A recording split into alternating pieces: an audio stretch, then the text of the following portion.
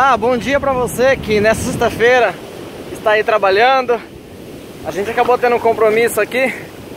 Não deu pra gente desmarcar, embora tivéssemos insistido bastante, né? Tentamos procrastinar, mas não deu certo.